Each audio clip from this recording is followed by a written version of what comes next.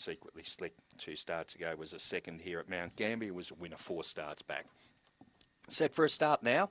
This is race number four.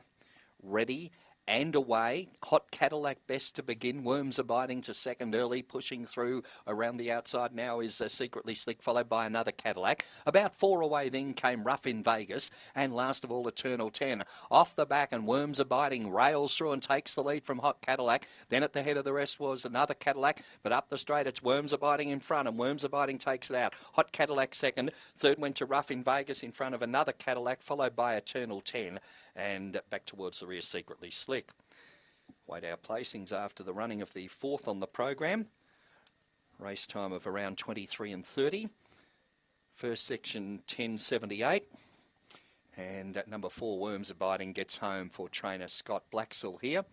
1078 that first split and the run home time of 1255 for the overall of 23 and 33.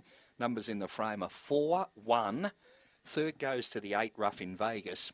And in fourth placing, we had number five, another Cadillac, so four, one, eight, and five. That winner, number four, Worms Abiding. This greyhound, a black dog, February 19, Worm Burner from Maximum Bella. Scott Blacksell, the owner and trainer, makes it career win nine now from 115 starts and scores by two lengths. And that margin between second and third was one, two by one on four, one, eight, and five.